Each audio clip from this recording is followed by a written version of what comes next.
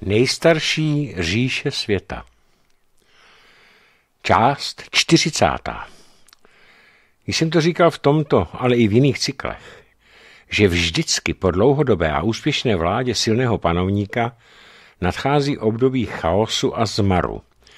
Platilo to ve všech starověkých říších, o kterých jsem v tomto velmi obsáhlém cyklu hovořil, a platí to samozřejmě i o Číně. Po dlouhé a poměrně úspěšné vládě dynastie Chang nastalo i v Číně období politické, ale i občanské nestability, chaosu a rozvratu, které provázely neustálé boje. Nastalo období nazvané sociologi a historiky pět dynastií a deset království. Tento chaos nastal po pádu dynastie Chang v roce 907 a skončil v roce 960. Po povstání jednoho z generálů, o kterém jsem minule hovořil, zcela rozvrátilo zemi spravovanou dlouhodobou dynastií jako zemi celistvou a sjednocenou. Po tomto povstání a pádu dynastie se okamžitě začaly vlády chápat jednotliví vládci regionů.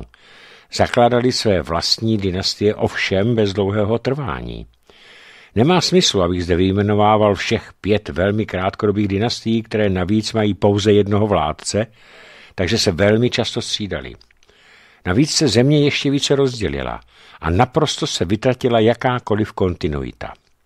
Tento chaos trval, jak jsem řekl, do roku 960, kdy se moci nad Čínou opět chopila velmi silná dynastie a byla to dynastie Sung, která zemi vládla od zmiňovaného roku až do roku 1279. A to je hodně dlouhá doba. Dynastie Sung opět nastolila stabilitu země a pořádek v ní a čas její vlády pro Čínu představoval rozvoj a opětovné zlepšení života i obyčejných lidí. Za vlády této dynastie se jako vůbec v první zemi v historii světa začaly tisknout první papírové peníze, bankovky. Byla to první vláda, která založila válečné zámořnictvo jako samostatnou státní vojenskou složku. Do této doby bylo námořnictvo Číny spojené, tedy jak obchodní, výzkumné, tak i válečné. Tato dynastie poprvé využila střelný prach pro vojenské účely a její námořnictvo začalo používat kompas na přesné určení severu, což velice usnadnilo námořní plavbu. Dynastie Sung se také dělila na dvě periody. Aby se oba tyto časové úseky od sebe oddělily, nazvali první období vlády dynastie Sung vědci jako Severní Sung. Toto období trvalo od zmiňovaného, roku 960 do roku 1127. Poté ztratila tato dynastie vládu nad severní Čínou a přišla o 40% obyvatelstva a toto období potom bylo nazváno Jižním Sunkem a trvalo od roku 1127 do roku 1279, kdy vláda této dynastie skončila. Takže se nyní v krátkosti podívám na úspěšnější severní Sung. K moci se v roce 960 dostal velmi silný císař Chai Tzu, který po dobu své vládly a vládl od roku 960 do roku 76, opět Čínu sjednotil, dobil malé ostatní státečky a království. Svou vládu pak umístil do hlavního města Pienting, kde vytvořil velmi silnou centrální vládu celého čínského impéria. Stabilitu v zemi zajistil především tím, že úřady přestal dávat dědičné aristokracii, nýmiž zavedl velmi přísné znalostní úřednické zkoušky a místa dával jen těm, kdo jimi nejen prošli, ale byli nejlepší. Tím zamezil, aby se do vlivných státních úřadů dostávali aristokratičtí hlupáci, mnohdy již zdegenerovaní, protože degenerace se nevýhýbala ani čínské aristokracii. Zavedl nové, efektivnější komunikační prostředky, například stálými stanicemi poslů, ale také nařídil vytvoření velikého atlasu, složeného z velmi detailních map jednotlivých provincií a měst, čímž prakticky založil odvětví kartografie na státní úrovni. Byl to právě císař Čajcu, kdo uložil vybudování hodinové věže s orlojem, kterou navrhl a orloj postavil vědec Chang Es-sun. Císařský dvůr přes své diplomaty udržoval dobré diplomatické vztahy s indistou, indickou dynastií Chola, Fátimovským chalifátem, Malajským královstvím a dalšími okolními státy. Během 10. a 11. století se počet obyvatel zdvojnásobil. Příčinou, dnes bychom tomu řekli populační exploze, bylo mimo jiné výrazné, velmi výrazné zvýšení produkce rýže ve střední a jižní zemi, části země, a brzy dozrávající a tím pádem sklízející úrody z jižní a jihovýchodní Asie, kterou Čína ve velkém množství dovážela. Podle záznamu při sčítání lidu v době dynastie Severní Sung měla říše už kolem 50 milionů obyvatel. Dramatický nárůst populace podnítil ekonomickou revoluci ve středověké Číně. Byla zaznamenána obrovská exploze obchodu, který podnítil finanční prosperitu celé země, především zásluhou mezinárodního obchodu. Hlavním produktem byl, jak jsem říkal, dovoz rýže. Ten byl tak velký, že spolu s nárůstem rýže začal ohromně narůstat i chov dobytka, což dohromady zapříčinilo velký nárůst soukromé obchodní sítě s dostupnými cenami pro populaci. Růst životní úrovně pak přispěl k dalšímu rozvoji celého zemědělství. Hladomory již nekosily mnoho obyvatel, takže v desátém a jedenáctém století převýšil počet obyvatel Číny 100 milionů lidí. V období vlády dynastie Sung také pozoruhodně vzrostly obchodní kontakty s vnějším světem. Čínští, čínští kupci byli zapojeni do mezinárodního obchodu a spolu s rychle se rozvíjejícím námořnictvem se tak čínské obchodní lodi plavily kvůli obchodu až do východní Afriky. Rychlý rozvoj ekonomiky způsobil problémy ve výrobě platidel, tedy mincí. A proto, jak jsem se již zmínil, došlo k prvnímu tisku papírových peněz v historii lidstva. Papírové peníze tiskl stát ve svých státních tiskárnách, takže to byly státovky. I tento jev, díky němuž se velice zjednodušily platby a státní rozpočet nebyl zatěžován velmi nákladnou výrobnou mincí, přispěl k masivnímu rozvoji maloobchodního trhu v celé zemi.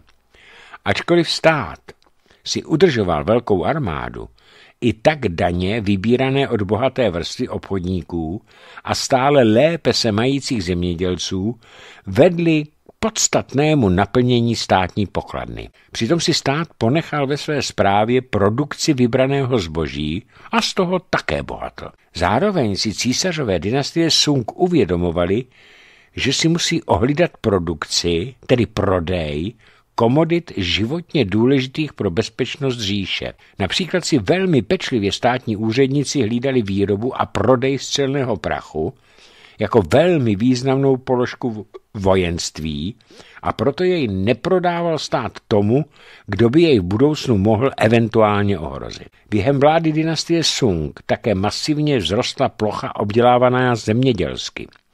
Bylo to i tím, že vláda podporovala obdělávání dříve pustých oblastí a dosáhla toho i tím, že dávala bezúročné půjčky na výstavbu zavlažovacích systémů a po jejich dokončení byli takoví zemědělci na řadu let zproštění daní, ale byla jim odpuštěna i část půjčky.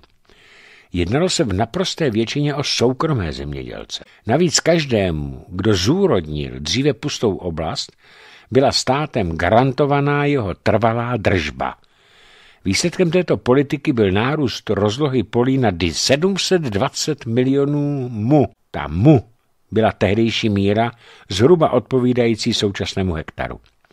Tato rozloha nebyla překonána ani nejúspěšnější dynastií Číny v historii, pozdější dynastií Ming. Rozvoj zemědělství byl úspěšný i proto, že se přikročilo k naprosto odlišnému způsobu využívání zemědělské půdy. Zatímco dříve se půda využívala po tři roky a poté byla vyčerpána, takže se opustila a zřídilo se nové pole, nyní se začalo ve velkém množství používat hnojení chlébskou mrvou, které bylo zvýšenou produkcí zem, zemědělských zvířat dostatek. Navíc se přikročilo, přikročilo k výměně produktu aby se jedna plodina nepěstovala stále na jednom poli. Nastala také ale pomalu revoluce ve výrobě zemědělských nástrojů a strojů, což opět urychlilo především obdělávání a sklízení polí a ulehčilo lidskou dřinu, což také lákalo více lidí, aby se do zemědělské činnosti zapojili. Změnil se také režim zahraničního obchodu.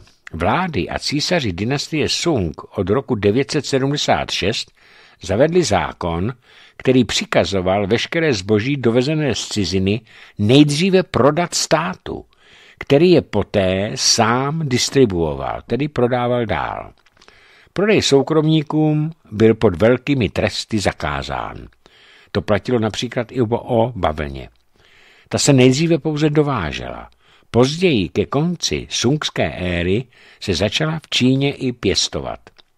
V době, v době dovozu se bavlna a látky z ní vyrobené a dovezené také museli prodávat státu, které ji pak dále distribuoval. A co je zajímavé, že distribuce se prováděla ponejvíce do nižších společenských vrstev. Boháči a čínská elita se stále oblékala do hedvábí. To však bylo příliš drahé, takže se začaly pro chudinu vyrábět oděvy z konopí a rostliny s názvem ramie. A jak jsem mi řekl, koncem sungské éry se začala pěstovat i bavlna a látky z ní našly uplatnění také ve střední a nižší společenské vrstvě. Stát si ponechal monopol nejen na výrobu a distribuci střelného prachu, ale také na výrobu železa a především ocely, která se vyráběla stále ve větším množství a lepší kvalitě. Lidem se tak vedlo dobře. A proto skvétal i společenský život. Ten byl za dynastie Sung doslova pulzující. Elity se tam scházely na jakýchsi aucích, kde se přepláceli při nákupu obrazů a jiných uměleckých předmětů. Návštěvy divadel byly jakousi společenskou povinností, při kterých se bohaté elity ukazovaly tím, že divadla sponzorovala. Pro obyčejné lidi se konalo velké množství různých festivalů a dokonce se stavěly ve městech i zábavní centra, kam se lidé po práci chodívali bavit. Všechny společenské vrstvy pak hodně kupovali knihy a četli. Bylo to způsobeno vynálezem nejen knih tisku, mnohem dříve než v Evropě, ale byl vynalezen i tisk pohyblivými písmeny, což hodně zrychlilo tisk. Začaly se objevovat i tisky podobné dnešním časopisům.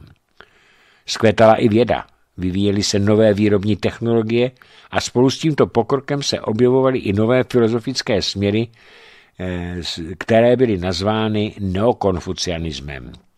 Ačkoliv historikové uvádějí, že tato zlatá doba čínské historie za éry dynastie Sung skončila roku 1279, ono to prakticky bylo trochu jinak. Koncem éry dynastie slábla a k moci se postupně dostával někdo úplně jiný. Nastupovala totiž dynastie Yuan. A tak se na tuto dynastii podívejme. Dynastie Yuan byla mongolskou dynastií, která v letech 1271 až 1368 vládla stejnojmené říši. Ta se ta říše se jmenovala ne Čína, ale Velká Yuan a rozkládala se na území Číny, Mongolska a dokonce i Jižní Sibiře. Byla obrovská. Založili vládce východní části mongolské říše velký chán Kublaj chán, což byl vnuk Čingis chána, konkrétně jeho čtvrtého syna Toluj chána. Kublaj chán tuto dynastii založil roku 1271. Jeho říše neustále napadala čínské území za vlády dynastie Sung, která se mu jen s obtížemi bránila a roku 1279 pak dobil Čínu v období vlády tzv. Jižního Sungu. Již předtím, v roce 1271 ale, přijal Kublai Khan čínský titul císaře a dobité území, byť ne ještě v tu dobu celé, ale jenom část, prohlásil za říši Yuan, přičemž své hlavní sídlo přenesl z Mongolska do čínského města Tatu. Dnes se jmé město tehdejší Tatu jmenuje Peking. Veškerá moc pak byla soustředěna v rukou císaře. Byl mu podřízen celý administrativní aparát. Přijal však původní čínské dělení na části civilní, vojenskou a kontrolní. Zároveň po dobytí zbytku území ovládané ještě čínskou dynastií Sung, tedy Jižní Sung, v roce 1279 ustanovil do všech vedoucích území jako místodržící své národy, tedy Mongoli, ale také Ujgury, kteří s ním od zpočátku jeho expanze úzce spolupracovali.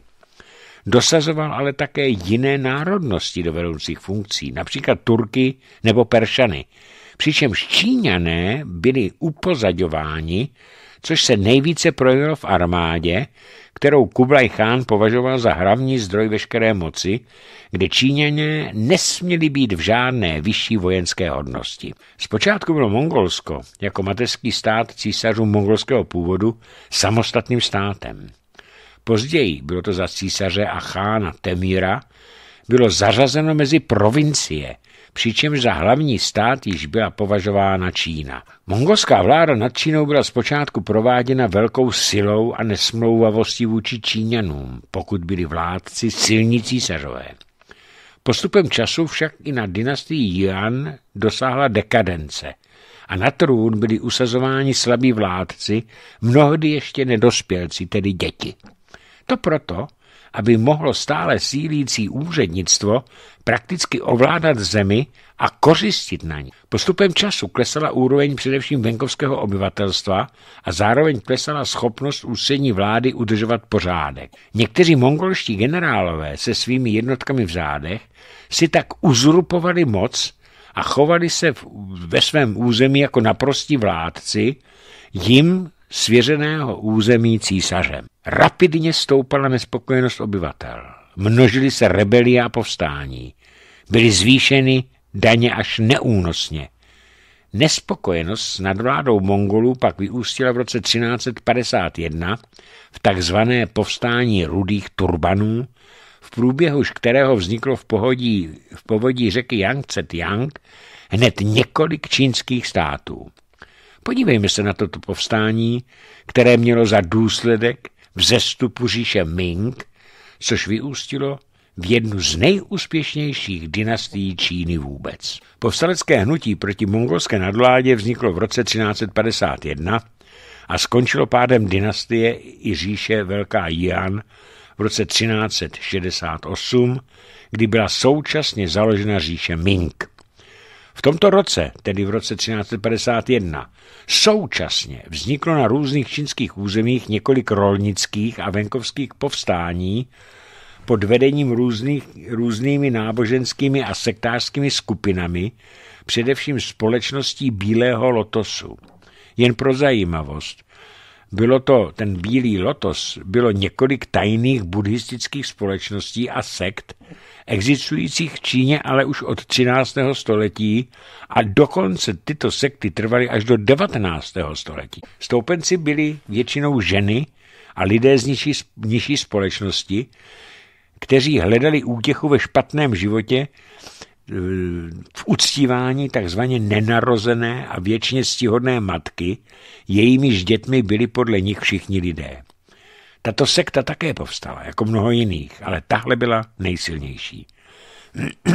Povstání se však rozšiřovala eh, a vtahovala do sebe stále širší vrstvy obyvatelstva. Objevilo se mnoho vůdců, v různých skupinách, kteří se prohlašovali za císaře a dokonce odvozovali svůj původ od sungských vládců. Opírali se přitom o různé legendy a mystická proroctví. Jak zrůstalo lidové hnutí v boji proti mongolské krutovládě, začalo se to povstání měnit na občanskou válku.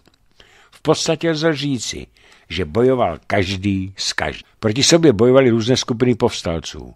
Čínští vůdci rudých turbanů bojovali proti sektám a dokonce proti sobě bojovali i vzbouření mongolští generálové. Katalyzátorem spoury se stala jako obvykle maličkost. Koncem května roku 1351 při stavbě hrází na Žluté řece byl nalezen jednooký bůžek, kamenný, který měl na zádech nápis. Toto je kamenný jednooký člověk. Jakmile jej najdou, Podnebesí povstane.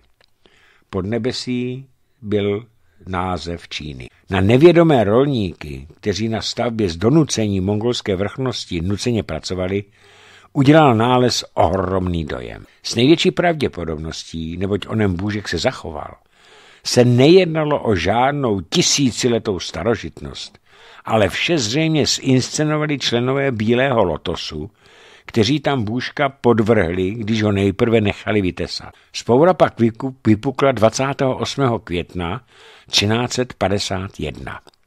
V první etapě povstání hrál důležitou roli Liu Fuchung, jeden z nejvýznamnějších aktivistů Bílého lotosu a vůdce jedné z jejich odnoží organizace s názvem Shan, Han Shan Chung. Toho povstalci prohlásili za potomka císaře Tsunga a s tělesněním Budhy budoucího věku jménem Maitréji. Povstalci se začali označovat za armádu rudých turbanů. Její bojovníci si totiž, jako poznávací znamení, vázali na hlavě rudé šátky stylem turbanu. Za svůj cíl pak vyhlásili obnovení říše Sung, zaniklé roku 1279 po jejím dobytí Mongoli. Han Shan Chung byl sice krátce po vypuknutí povstání Mongoli zajat a popraven. Vojska, pak vedená Liu Fuchungem, úspěšně pokračovala a během druhé poloviny roku 1351 obsadila značné území, ze kterého se k ní houfně lidé přidávali, takže armáda povstalců čítala přes 100 000 bojovníků. Zatímco vojsko Liu Shanchunga dobývalo celou provincii Henan, vypuklo 31. srpna téhož roku další povstání v Sichou a pak na severu v provincii Tiansu a další vzpoura v čele s Li, Rem, zvaným Sezamový Li. Všechny zbořené oddíly postupovaly proti sobě a nakonec se spojili a samotný Sezamový Li se podřídil velení Liu Fuchungovi. Tři měsíce po začátku povstání rudých turbanů, v té době se pro povstaleckou armádu a mezi lidem ujalo označení rudá armáda podle barvy turbanu a šátků, vypukla vzpoura i v centrální Číně dosud klidné. Vznikly zde tři povstalecké armády. Tu největší vedl Si Shou Hui, který se zanedlouho prohlásil císařem státu a ten nazval Tien Ban. K němu se později připojovali další a další skupiny povstalců a povstalecké armády dobývaly jednu provincii za druhou. Toto velké povstání však mělo jednu zvláštnost, která dříve v historii Čína nebyla, Číny nebyla. Dříve se totiž k vítězícím povstalcům přidávala nejen šlechta, ale i vysocí úředníci v naději udržení svých výnosných míst. Nyní však na těchto místech byli mongolové anebo příslušníci jiných národností a ti se k povstalcům nepřidávali, stejně jako místní elita, která se obávala pozdější porážky povstání armádou centrální, tedy armádou mongolské moci. Císařská armáda však byla zpočátku také velice zaskočena ohromným množstvím lidí v povstání a tak s akcemi váhala. Lze říci, že byla zcela dezorganizovaná protože povstalci přerušili pravidelné spojení posly. Hlavním velitelem byl v císařském městě generál Tokto. A ten ve svých oddílech rychle zavedl pořádek a tuhou kázeň a poslušnost. Byl to vůbec velmi schopný generál mongolský. On zorganizoval vlastní velkou armádu. Jejíž velitelé byli vždy vyznamenáváni za úspěch a hlavně jak bylo zvykem mongolských vládců, nebyli trestáni za případný neúspěch, tedy porážku v bitvě. To byl hlavní kontrast k oficiálním jánským řádům, kde velitelům za porážku, když ji přežili, byla setnuta hlava. Generál Tokto byl moudrý muž a skvělý taktik. Kvůli udržení naprosté kázně bez trestu smrti zavedl rotaci armádních oddílů, ale také velitelů. To znamenalo odstranění eventuálního navázání úzkých, užších vztahů mezi veliteli a vojáky, ale i mezi jednotlivými oddíly. Zároveň se Tokto postaral o pravidelné zásobování všech armád A to byl i jeden fakt, vedoucí k udržení pořádku a kázně. Jak stoupala připravenost a bojeschopnost centrální císařské armády, po vzoru generála Tokta si podobně organizované armády zřizovali i jednotliví bohatí správci provincií, což nebyli samozřejmě Číňané, ale Mongolové. A ti se se svými houfy oddíly houfně přidávali k císařské armádě generála Tokta. Mnoho mongolských, ale i čínských feudálů si takto pořídilo vlastní velké soukromé armády, které povstalcům začaly uštědřovat porážky. A to jak na severu, tak i na jihu země. Ani na jedné straně se však nepodařilo rudé, rudou armádu zcela porazit. K velké destabilitě povstaleckých států však přispělo počasí. V letech 1352 až 1354 postihlo střední Čínu velmi špatné počasí. Neustále a dlouho pršelo, rýže i obilí hynilo na polích a vypukl hladomor. Centrální mongolská vláda ale měla k dispozici potraviny z jiných částí Číny, kde bylo počasí normální a také z dovozu z okolních států a proto zavedla plynulé zásobování nejen armád, ale i obyvatel na jimi dobitých a ovládaných území, což povstalci nebyli schopni zajistit.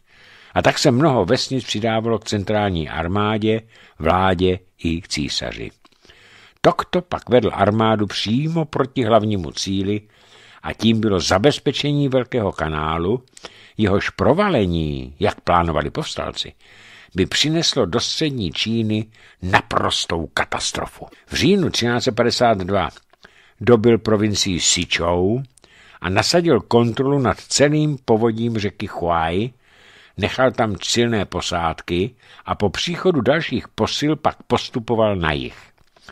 V létě roku 1353 zaútočil na provincii východní Šupej, což bylo centrum povstání a zároveň hlavní město postaleckého státu Tien Van, což bylo právě to město Chi Shui. Tam bylo hlavní město toho povstaleckého státu. Na podzim jej dobil. A samozvanému císaři Si Shou Huejovi nezbylo nic jiného, než se z částí svého dvora musel ukrýt v horách. Mezitím však Tokto na severu a východě země posiloval svou další armádu. Reorganizoval ji tak, aby byla výkonnější a zároveň tam, kde pomocí armády ovládal území, obnovoval civilní zprávu, samozřejmě plně podporující mongolské císařství. V roce 1354 se pak vrhl do obrovské ofenzívy. Povstalci byli fakticky poraženi v provinciích Shenan, Tiangxi a Shukuang, přičemž většina posteleckého vojska byla zlikvidována.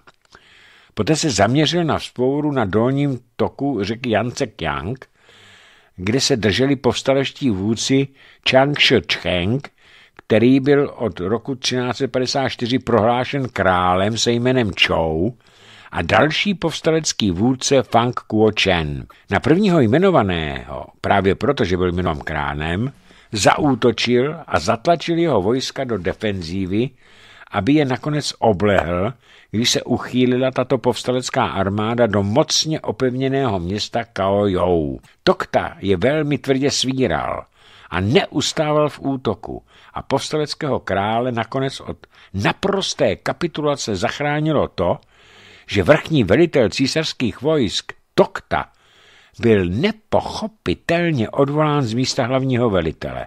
A to bylo v lednu roku 1355 a jeho vojska byla předána jiným velitelům, ovšem mnohem neschopnějším. Takže císařská armáda nakonec od obleženého města odtáhla. Bylo to opravdu jen malou chvíli před naprostou kapitulací. A proč se to s tím generálem Toktou stalo právě takhle? Jánská vláda se totiž domnívala, že rebelové jsou již prakticky poražení a Janský dvůr, který byl ostatně jako každý jiný císařský a královský dvůr i v jiných dobách a v jiných zemích, plný intrik, zákulisních půtek a šarvátek v boji o co největší most, moc. A tito dvorní pleticháři se obávali, že kdyby Tokto drtivě poraz, povstalce porazil, Stal by se příliš mocným a neovladatelným a mohl by tyto pleticháře připravit o moc. Tokto totiž prosazoval a bránil samostatnost projanských správců provincií a prefektur, ale i provinciálních generálů v čele provinčních armád. Takže tito, a ti by šli samozřejmě za ním, když se chtěl prohlásit císařem. Takže tito dvorní pleticháři jej odvolali. Avšak mongolská vláda pak již nebyla schopna kontrolovat ani vlastní armádu, natož pak likvidovat povstalce. A to se jí vymstilo. V letech 1352 až 1354 se zrodilo další povstalecké středisko městě Chao Chou v provincii Chenan. Zpočátku nebylo velké, ale pomalu rostlo a sílelo. V čele armády stál zámožný městan, měšťan Kuoco syn, člen Bílého lotosu. Jak jsme si již řekli, byla to tajná buddhistická sekta – ale nebyl však jediným vůdcem povstání v této provincii, což později vedlo k vnitřním rozkolům a bojům o moc. Po roce 1355 janská vláda tak ztratila naprosto vliv na chod provincií a nebyla v nich schopna nejen jmenovat provládní úředníky, ale ani vybírat daně – ty šli samozřejmě povstalcům, neboť i oni potřebovali od lidí peníze na vedení války. Pod plnou vládní kontrolou se tak nacházel pouze region kolem hlavního města Janského císařství. I v takto okleštěném území vlády však panovaly vnitřní boje a neschody mezi mongolskými papaláši. V druhé polovině 50. let tohoto století postupně získával převahu v serovočínské nížině generál Chagan Temir. Byla to velmi zajímavá osobnost. Byl to Mongol. Vypracoval se na tuto pozici z řadového příslušníka malé lokální elity, naprosto bezvýznamného, až na velitele nejsilnější armády severní Číny a začal tvrdě svírat povstalce. Pak toho ale musel nechat. Musel se totiž věnovat politikaření uvnitř jánského tábora, především dvora, a na boj s rebeli mu již nezbýval čas. Jeho hlavním a největším nepřítelem byl Bolot Temír, otec císařovny usazené v bezpečí v Šansi. Rozpory však byly i v táboře povstalců. Ani povstalecké státy tak nebyly příliš jednotné. V každém z nich operovaly ozbrojené jednotky loajálním ke svým vůdcům, přičemž na vrcholu mocenské pyramidy byl jakýsi vládce, ovšem nikoli v pravém slova smyslu, nýbrž jako nejvyšší vojenský velitel, takzvaný první mezi rovnými. Pokud byl úspěšný, bylo to v pořádku. Pokud však utrpěl nějakou prohru, byť nikoli fatální, lokální vůdci mu vypověděli poslušnost a šli pak vlastní cestou.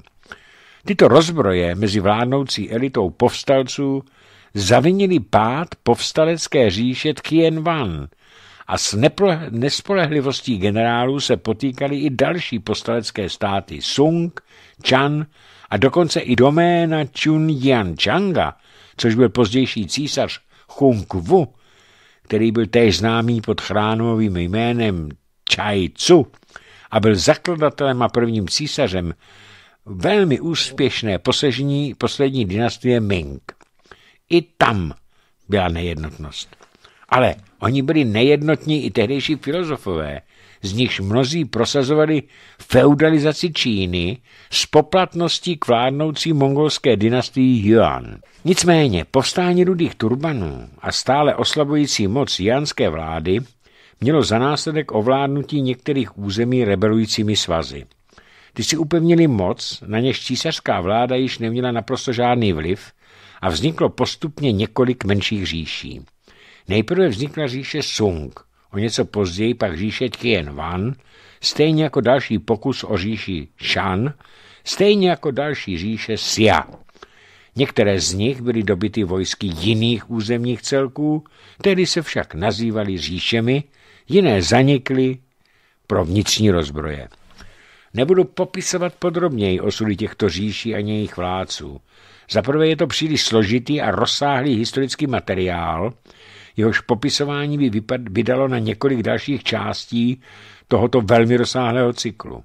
Podívám se na opětovné sjednocení Číny a vznik dynastie Ming. Po několika letých bojích, při nich se válečnický osud přeléval ze strany na stranu, získal naprostou převahu již zmiňovaný Chu Yan Chang.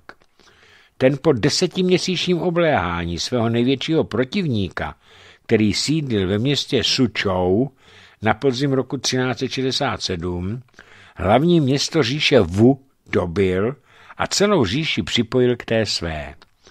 Na čínský nový rok 23. ledna 1368 se Qi Yuan Chang v Nankingu prohlásil císařem říše Ming. Jako takový přijal jméno Hung Wu nebo Chung Wu, což v překladu znamená nesmírná bojovnost. Ten pak říši Ming a celé Číně vládl od roku 1368 do roku 1398. Ovšem neměl to zpočátku jednoduché. A my se nyní společně podíváme na to, co vše se v té době v rozvrácené zemi dělo. Byla to dlouhá válečná doba, kdy se původní povstání rudých turbanů změnilo na dlouhotrvající občanskou válku všech proti všem, přičemž mongolská dynastie Jian již byla mimo hru. Mingská armáda, teda dynastie Ming pozdější, postupně porážela armády dalších říší, až byl její největší protivník říše Wu, té armáda byla vedená Fang Kuo Chenem.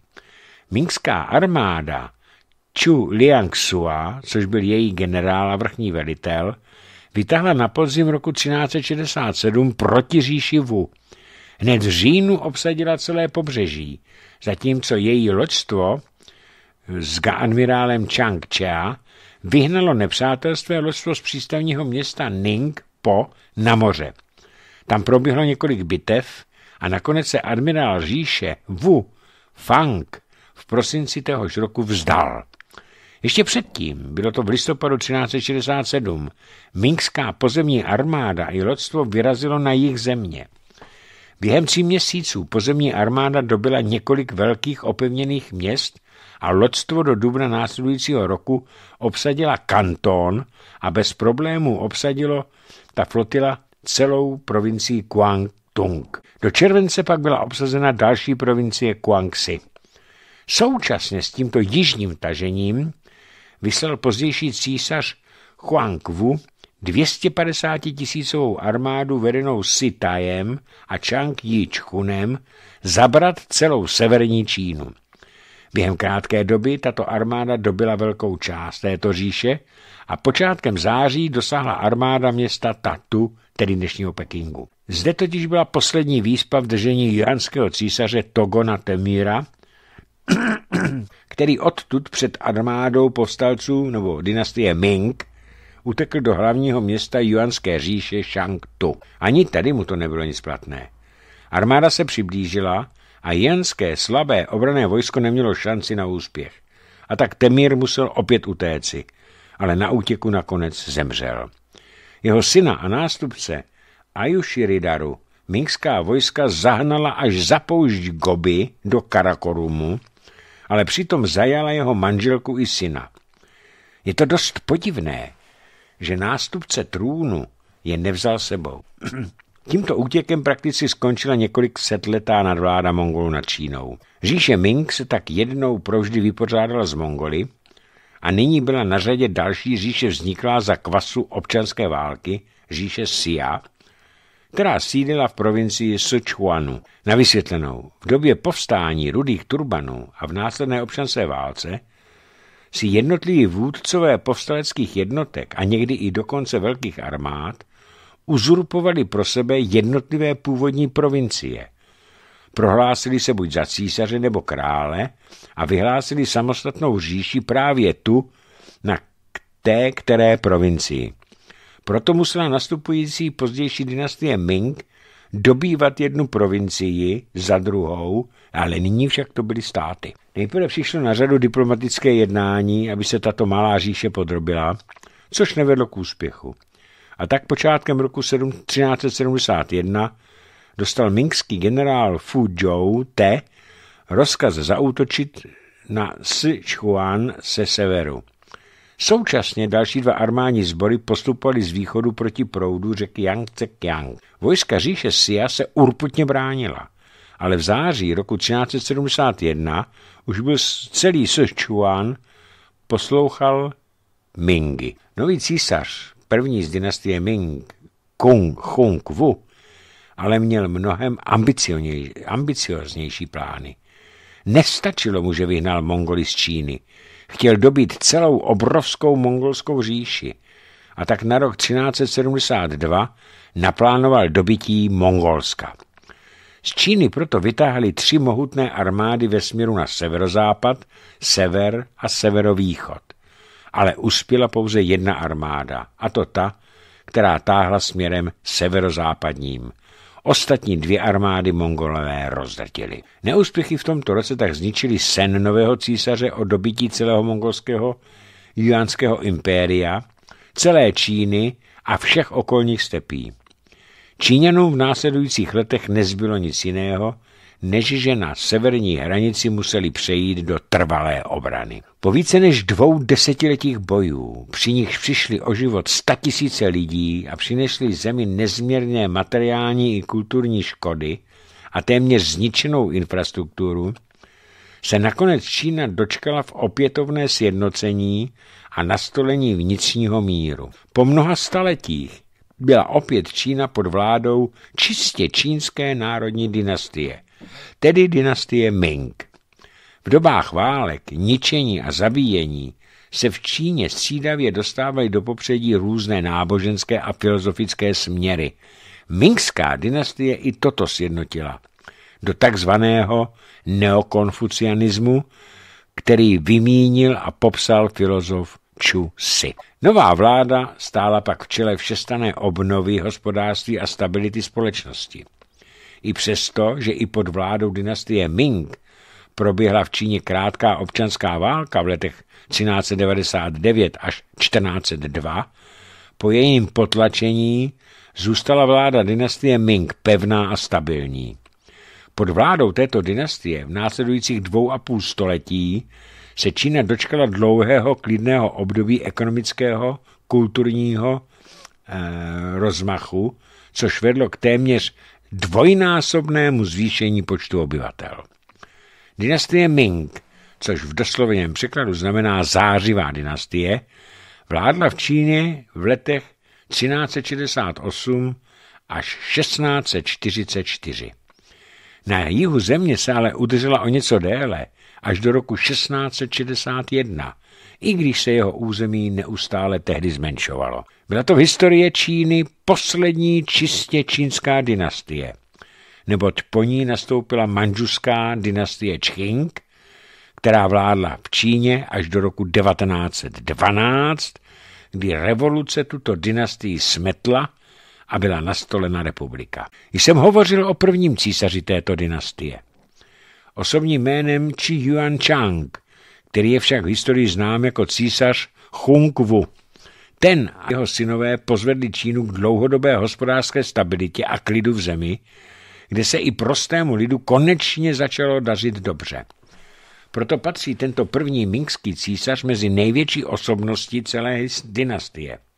Vládl, a to jsem také zmínil, ale raději to zopakuji, od 23. ledna 1368 do 24. června roku 1398, tedy více než 30 let.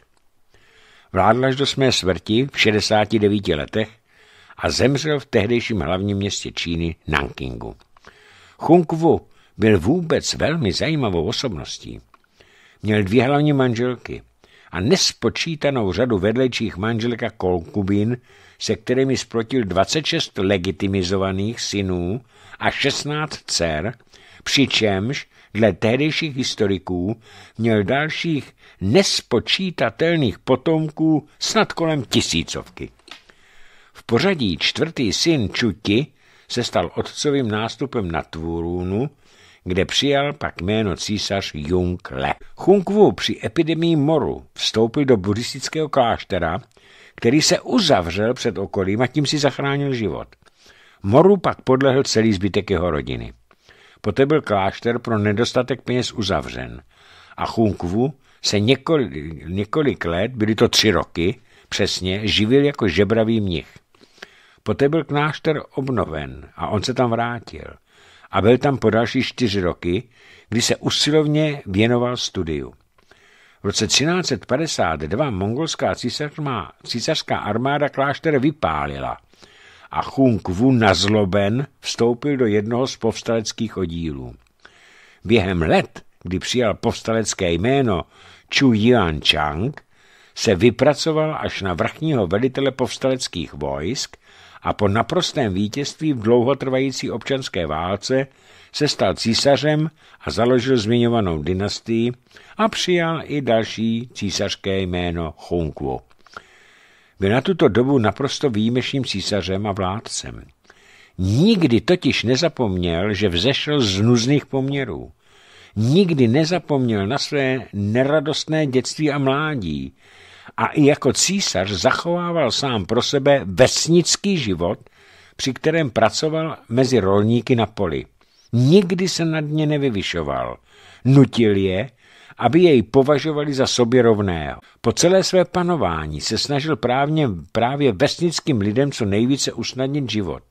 Za to však nenáviděl a nevěřil boháčům, ale také učencům, o kterých tvrdil, že své učení vždy obrátí směrem, jaký na nich bude vyžadovat vrchnost. Proto byl císař Chunkvu nesmírně milován prostým lidem, především vesničany. Císař, a to bylo popravdě řečeno obyvatelstvu naprosto jedno, od počátku své vlády soustředil moc jen ve svých rukou. Byl a po něm i další císaři dynastie Ming prakticky hlavou civilní i vojenské zprávy země.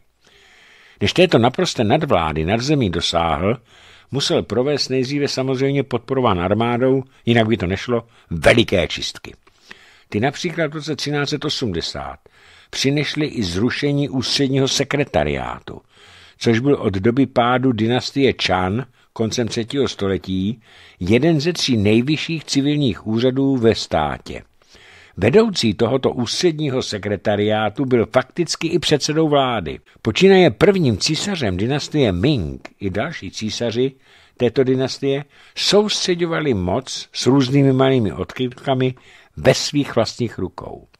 Již jsem říkal, že vláda této dynastie byla úspěšná, trvala dlouho, ale byla také úplně poslední čistě čínskou dynastií.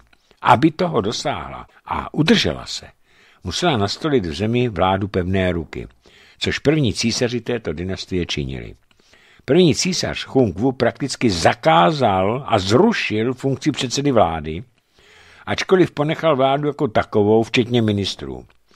Premiéra zakázal proto, že prakticky řídil vládu on sám, což byl právě dřívější úkol premiéra nebo chcete-li předsedy vlády. Aby měl Hung Wu prakticky denní přehled o činnosti vlády, obklopil se velmi vysoce postavenými eunuchy, kteří byli jeho očima a ušima a denně s nimi konzultoval otázky spojené s vládou nad zemí. Eunuchové sice měli výkonnou moc, ale císař moc dově, dobře věděl, co by mohli způsobit, kdyby se vymkli z rukou, a tak eunuchové neměli naprosto žádné pravomoci.